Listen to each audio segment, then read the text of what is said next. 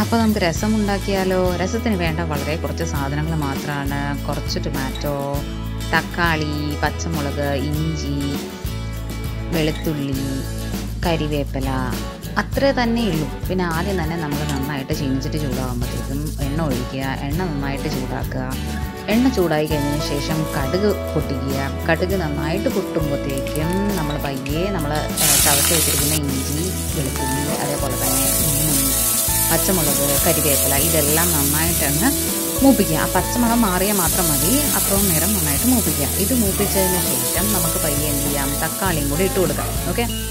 തക്കാളി ഇട്ടിട്ട് തക്കാളി നന്നായിട്ട് വെക്കാം ഈ തക്കാളി ഇടുന്ന കൂട്ടത്തിൽ നമുക്ക് ഇത്തിരി സ്വല്പം ഉപ്പ് കൂടി ഇടാം. കാരണം ആവശ്യത്തിനുള്ള ഉപ്പ് നമുക്ക് ഇപ്പം ഇടണമെങ്കിൽ ഇപ്പം ആഡ് ചെയ്യാം. പിന്നെ അളവിന് കൃത്യമാവുന്നുണ്ടെങ്കിൽ ഇപ്പം തന്നെ ആഡ് ചെയ്യാം. ഞാനിത് ഇപ്പം തന്നെ ആഡ് ചെയ്യാണ്. പിന്നീട് എനിക്ക് ഉപ്പിടേണ്ടി വരാറില്ല. സോ ഞാനിപ്പോൾ തന്നെ ആഡ് ചെയ്തു. തക്കാളി നന്നായിട്ട് ഒരു ഒരു ഒന്ന് ഉടയുന്ന പോലെ പരുവമായി കഴിയുമ്പോൾ നമ്മൾ എന്താണെന്ന് വെച്ചാൽ പൊടികളെല്ലാം ആഡ് ചെയ്ത് കൊടുക്കും. പൊടികളെന്ന് വെച്ച് കഴിഞ്ഞാൽ അധികം വലിയ പൊടികളൊന്നും ഇല്ല രസത്തിന്. നമ്മൾ നന്നായിട്ടൊന്ന് വയറ്റുക. വയറ്റി കഴിഞ്ഞതിന് ശേഷം പ മഞ്ഞൾപ്പൊടി. ഓക്കെ? ഒരു നുള്ള മഞ്ഞൾപ്പൊടി.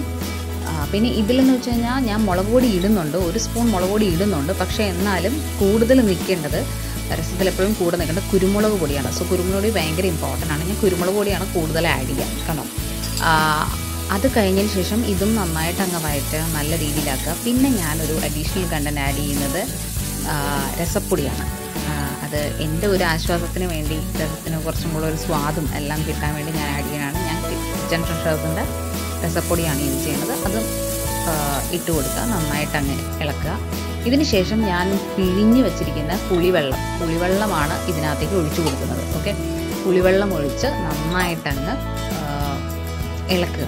ആദ്യം അതൊന്ന് അതൊരു കുറുക്ക് പരുവായിരിക്കും. പിന്നെ നമ്മൾ ആവശ്യത്തിന് വെള്ളം ഒഴിച്ചു കൊടുത്താൽ മാത്രം മതി.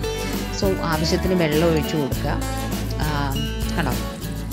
ആവശ്യത്തിന് വെള്ളം ഒഴിച്ചു കൊടുക്കുക. എന്നിട്ട് ഇത് നന്നായിട്ട് ഇളക്കി അങ്ങ് മൂടി വെക്കുക. മൂടി വെച്ച് അത് തിളയ്ക്കണം. പിന്നെ ഞാനൊരു അഡീഷണൽ കണ്ടന്റ് ചെയ്യണമെന്ന് വെച്ച് കഴിഞ്ഞാൽ നമ്മുടെ കുറച്ചും കൂടെ ടേസ്റ്റും നല്ല ഇതും കിട്ടാൻ വേണ്ടി മല്ലിയില. മല്ലിയില പിച്ചി പിച്ചി ഇട്ട് കൊടുക്കുക അത് നല്ലൊരു ടേസ്റ്റാണ് നമ്മൾ രസം എന്ന് പറഞ്ഞാൽ എപ്പോഴും ഒരു ദഹനത്തിന് യൂസ്ഫുൾ ആയിട്ടുള്ളൊരു നമ്മുടെ വയറിന്റെ എല്ലാ ഇതും മാറ്റി നല്ല ദഹനം കിട്ടാനും കൂടെ സഹായിക്കുന്ന ഒരു ഇതാണ്. രസം നന്നായിട്ട് തിളച്ച് നന്നായിട്ട് അതിന്റെ സത്തെല്ലാം ഒന്ന് നന്നായിട്ട് തിളച്ച ഒരു ഇത്തിരി ഒരു വറ്റൽ പക്ഷെ കുറുകരുത്. ഇത് നമ്മൾ രസം എപ്പോഴും ഇങ്ങനെ കുടിക്കാൻ പാകത്തിനാണ് വയ്ക്കുക സോ അത് ശ്രദ്ധിക്കുക. അങ്ങനെ ആകുമ്പോൾ നമ്മുടെ രസം റെഡി എല്ലാവർക്കും ഇഷ്ടപ്പെട്ടെന്ന് വിചാരിക്കുന്നു. ലൈക്ക് ചെയ്യുക കമന്റ് ചെയ്യുക ഷെയർ ചെയ്യുക സബ്സ്ക്രൈബ് ചെയ്യുക.